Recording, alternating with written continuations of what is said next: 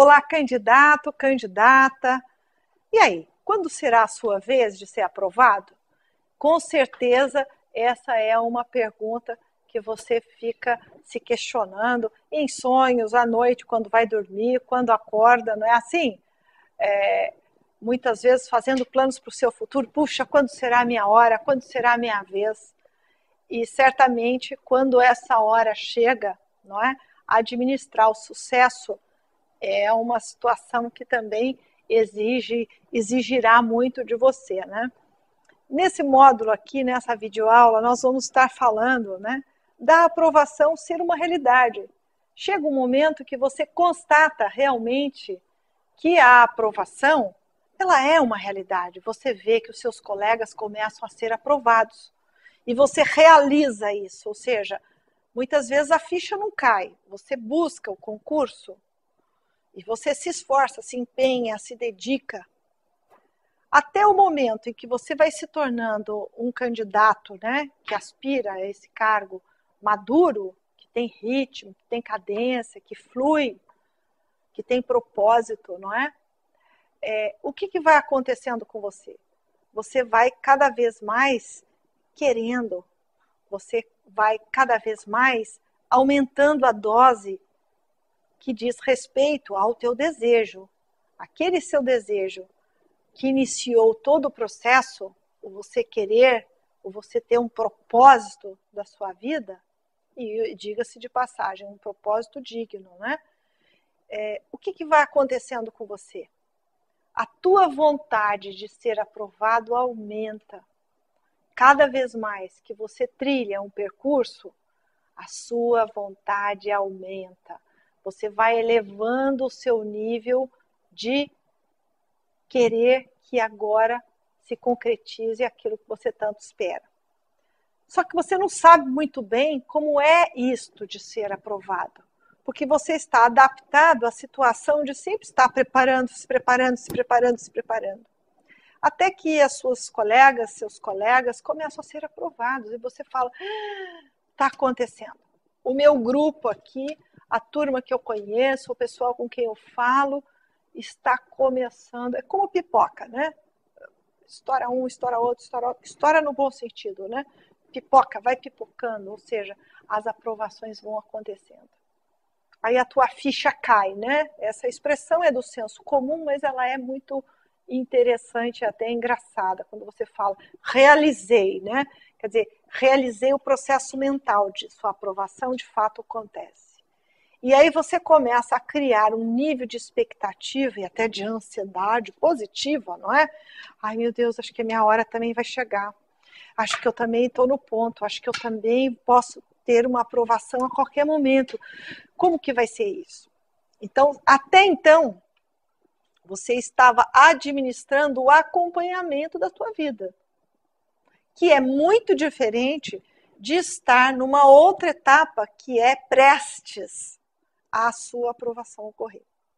E isso você começa a dimensionar mais facilmente, poderá ser de outra forma, mas mais facilmente identificando nos outros. Você começa a verificar que as pessoas com quem você troca informação, com quem você estudou junto, com quem você fala mais, com quem você senta perto, enfim, nas aulas, com quem você sempre telefona, com quem você almoça, que estão tá, tá, entrando, vão ingressar. E aí você também passa a evoluir no sentido: quando será minha hora? Quando será a minha vez? Então saiba o seguinte, que o sucesso precisa ser administrado.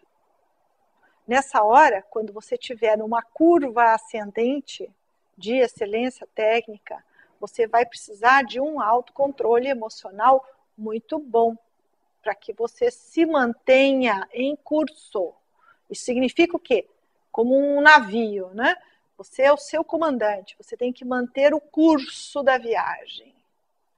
Não perder a mão, não perder a cabeça, não não perder o pé, quer dizer, correr demais ou diminuir a velocidade, não é? Então, essa precisão, esse exercício da precisão começa a ser algo do qual você vai trabalhar. Então, esta etapa fica para trás aquele que se dedicou imensamente, aquele que fez toda uma trajetória de uma determinada maneira, não é? No seu dia a dia, ganhou respeito, ganhou confiança, ganhou conhecimento, ganhou discernimento, tem um pensamento, uma base do seu pensamento, tem uma, uma base de pensamento, tanto pessoal quanto profissional, adequada, apropriadas. E para isso ele vai partir, ele e ela, candidato, vão partir para uma nova instância, que será o momento de a bola tá batendo na trave, sabe? Então, quando nós estamos assistindo lá aquele jogão, né, aquele jogaço lá no domingo ou nas quartas-feiras, você começa a verificar que quando a bola começa a bater na trave, está chamando o gol, está chamando o gol. Então, esse momento ele é muito diferente daquele momento já vivido. É um momento que você quase que se despede, não inteiramente, mas você vai manter aquele ritmo porém adequando as suas emoções, aguardando as tais bolas na trave, bolas no gol. Quando você começa a ser classificado, quando seus amigos começam a ser classificados, quando seus amigos vão para outras etapas seletivas, quando você também começa a desejar isso e a esperar que você então estaria também pronto para esse momento. O que pode ocorrer é que o tempo de cada um é muito diferente do outro. Então, é verdade que para algumas pessoas que são próximas a você, quando a aprovação acontece, muitas vezes parece que ela é assim rápida, é? é extremamente veloz. E aí você meio que aguarda a sua e ela não vem. Tome muito cuidado é, esse seu momento é preciso equilíbrio. Não enverede pelo caminho negativo de se contaminar com um sentimento negativo do tipo: puxa, ela foi aprovada e eu não. Nossa, aquele ali, ele foi aprovado e eu não. E isso ir, de alguma maneira, é, aumentando o cerco, te pressionando como? Tá vendo? Eu não sou tão bom quanto eles. Então, nessa hora, você estaria abrindo guarda, abrindo a sua guarda, né? Para uma condição muito negativa em relação ao seu desempenho, o que seria um grande erro. Ou seja, jamais faça leituras desta etapa que você está, que eu estou chamando aí essa etapa de forma divertida, de estar batendo na trave, não é? é jamais tome muito cuidado de atrelar este seu período, que é um período muito promissor. E caso você dê um banho de água gelada nesse período promissor, você é capaz de interferir a ponto de voltar à etapa anterior que seria de manter-se em aprimoramento constante, manter-se é, num ritmo capaz de definir essa maturidade do candidato. Então, quando você entra nessa outra etapa de estar no momento propício, promissor de sucesso, promissor de aprovação, não é a hora de se aliar com pensamentos dos quais colocam você em desnível, em relação aos demais que estão sendo aprovados. Tome muito cuidado para não se contagiar negativamente. Isso acaba ocorrendo quando você praticamente é, se vê como não escolhido. É como que aquela imagem infantil, quando a mãe ou o pai vai colocar no colo o seu irmão e não você. E você fica de fora olhando. Então, estas situações de estar vendo que a oportunidade boa está indo para o outro, é praticamente o outro é o escolhido e eu não.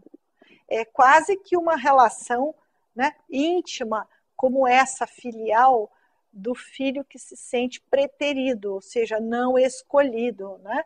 pelo, pela mãe para ganhar um colinho ali naquela hora. Então, veja bem, a mãe não esquece, né? Se é uma mãe generosa, ela vai pôr um filho uma hora no colo, outra hora ela vai pôr o outro, não é isso? Então vai ter um momento que o teu irmãozinho é que vai estar tá olhando e você que vai estar tá no colinho, não é assim?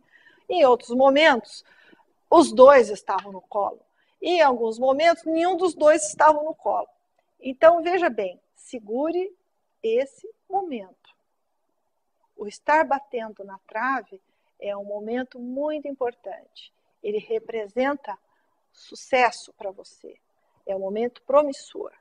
Então tome cuidado, segure essa onda aí da mente para que você não possa cometer né, a falha de fazer você regredir para uma outra instância, como aquela criança que chora porque a mãe pôs no colo o irmão e não a ele.